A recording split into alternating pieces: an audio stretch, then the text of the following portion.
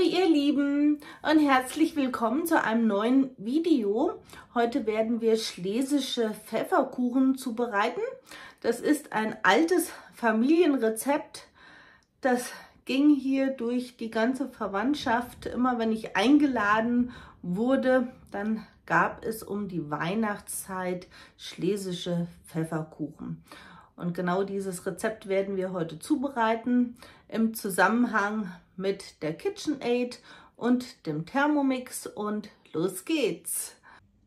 Hier haben wir einmal Honig, Orangat, Rosinen, Zucker, Eier, Margarine, Mehl, Pottasche und hier ist Zimt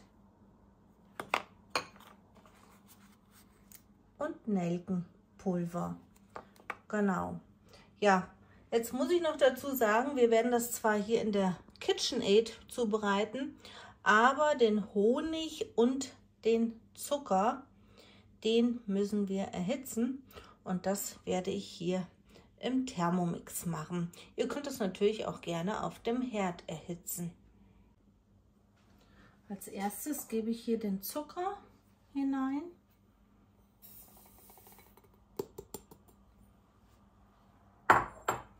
Und dann den Honig.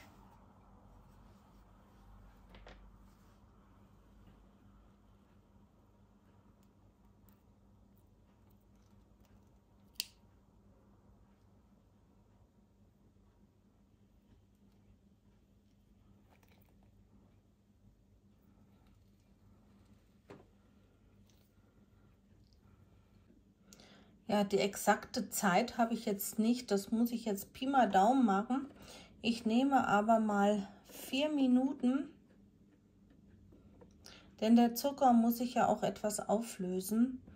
Und nehme hier mal, denke ich mal, 80 Grad und Stufe 1. Und dann schauen wir mal nach der Zeit, wie es dann aussieht. Schauen wir mal.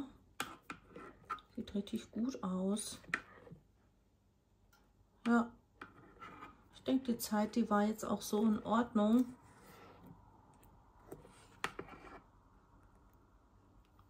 Ja, genau. Und jetzt geht es mit der KitchenAid weiter. So, jetzt gebe ich erst einmal den Honig mit dem vermischten Zucker, also dem erhitzten Zucker, erstmal alles hier hinein.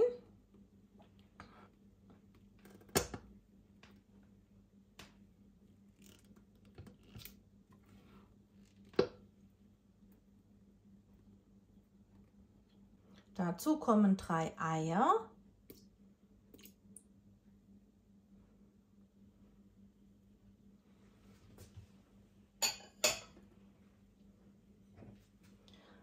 Margarine.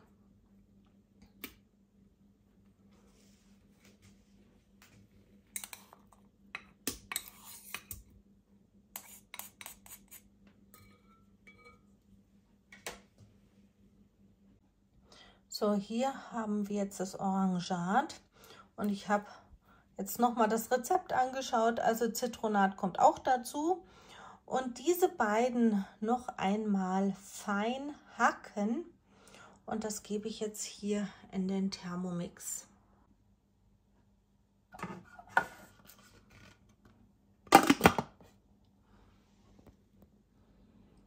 Und da der Thermomix ja sehr kraftvoll ist, setze ich mal hier das Ganze so auf drei Sekunden und hier Stufe 6.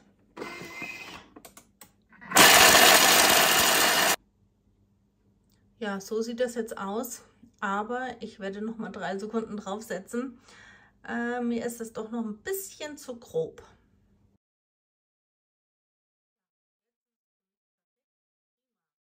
Die Rosinen müssen auch zerkleinert werden.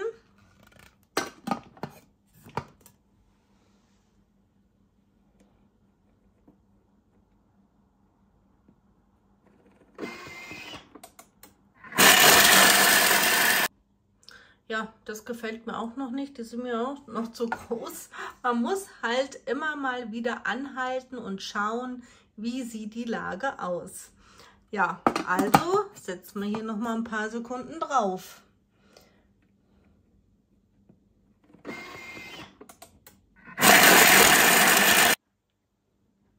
Also irgendwie lassen die sich nicht zerkleinern. Die sind ja noch genauso groß, wie, wie ich sie reingegeben habe. Na sowas.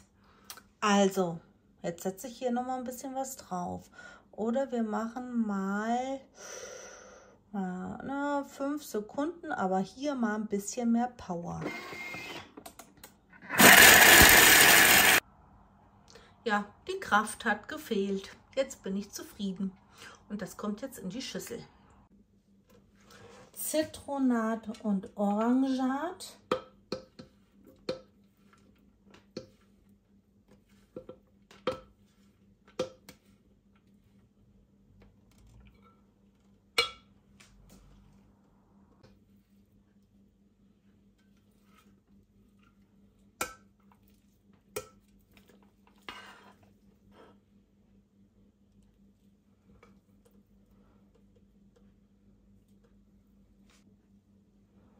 So, nun gebe ich zwei Teelöffel Zimt dazu.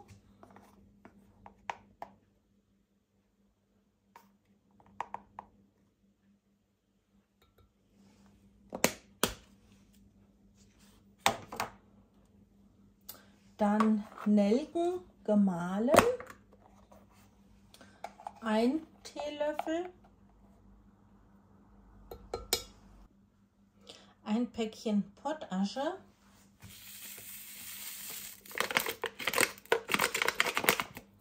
So, und das Ganze wird jetzt erst einmal verrührt. Da bin ich mir immer noch unschlüssig. Nehme ich da jetzt diesen Haken oder nehme ich das hier? Hm. hm ich glaube, ich nehme mal das hier und später dann den anderen Haken.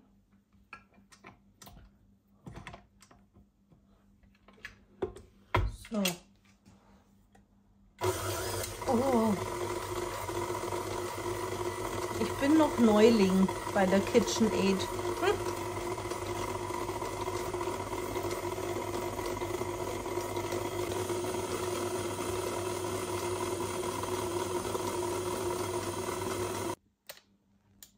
Ja, so sieht das jetzt aus. Und da war jetzt doch hier dieser Rührarm genau der richtige dafür. Und jetzt gebe ich noch Mehl hier hinein. Und zwar ein Kilo. Und da nehme ich dann den anderen Rührarm.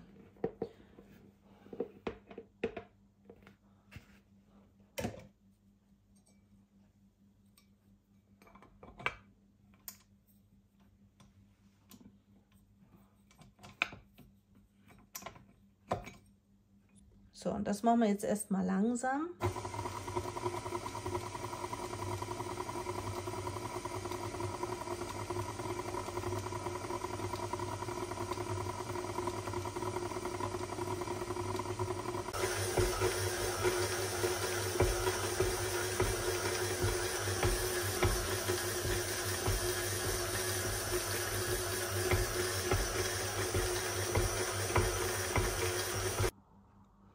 So, das sieht hier richtig wunderbar aus. Also ihr müsst mal bedenken, ähm, meine Tante, die hat das alles früher mit der Hand geknetet und äh, die Rosinen und das Zitronat, Orangat, alles mit der Hand, mit dem Messer eben zerkleinert. Die hatten keine Küchenmaschine, es wurde alles mit der Hand gemacht. Ähm, ja, da ist es ja hier schon komfortabel mit der KitchenAid überhaupt. Das Ganze rolle ich jetzt aus und dann steche ich die Plätzchen.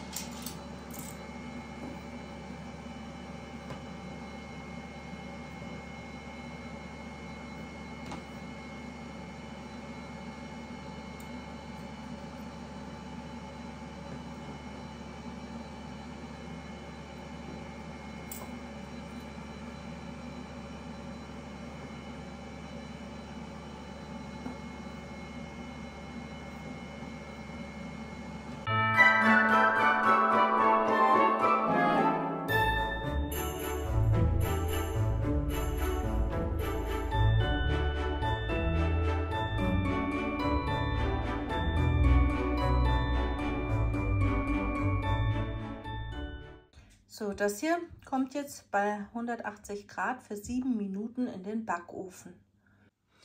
Das hier ist jetzt die erste Lage, die ist jetzt hier fertig und da kommt dann später noch ein Schokoladenüberzug drauf und mit einer Mandel wird das dann garniert.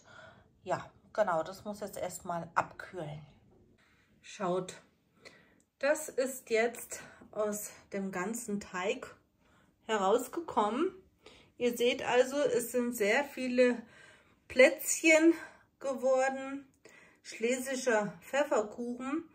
Und das werde ich jetzt noch mit Schokoladenglasur bestreichen. Und ja, in die Mitte von jedem Plätzchen kommt dann nochmal eine Mandel. Wir werden jetzt erstmal die Schokoladenglasur zubereiten. Dieses Rezept habe ich jetzt herausgesucht.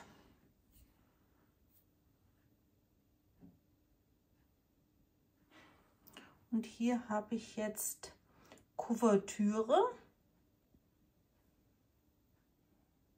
Und die werde ich jetzt hier im Thermomix zerkleinern. Ja, das war bei 10 Sekunden Stufe 8. Und jetzt kommen 20 Gramm Öl dazu.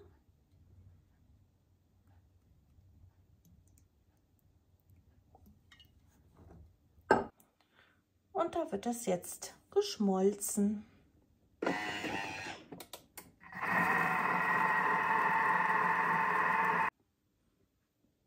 Ja, da wollen wir jetzt mal gucken, ob das auch so aussieht. Ah, wunderbar. Ja, und das geben wir jetzt auf die Plätzchen. So, die flüssige Schokolade habe ich jetzt mal hier hineingegeben. Und dann habe ich hier solche Mandelplättchen. Ich habe jetzt keine ganzen Mandeln da, aber man kann ja auch solche Plättchen dann hinterher noch drauf geben.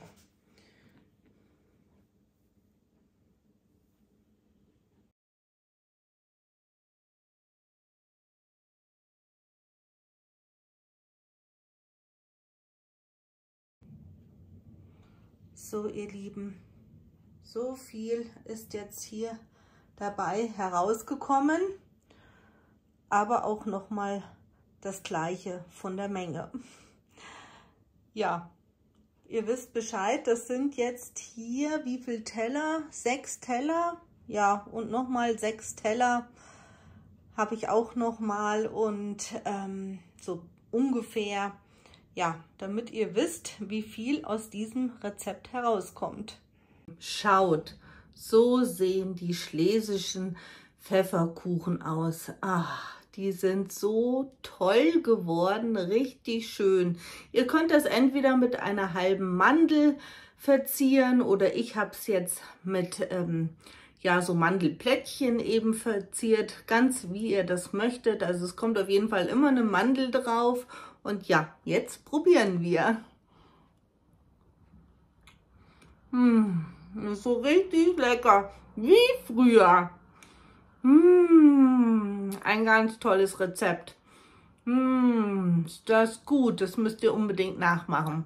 Ja, ihr Lieben, das war das erste Familienrezept. Mal schauen, was dann so als nächstes noch kommt.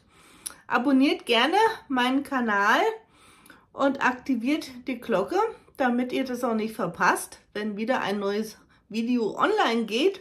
Ja, dann sehen wir uns zum nächsten Mal. Tschüss!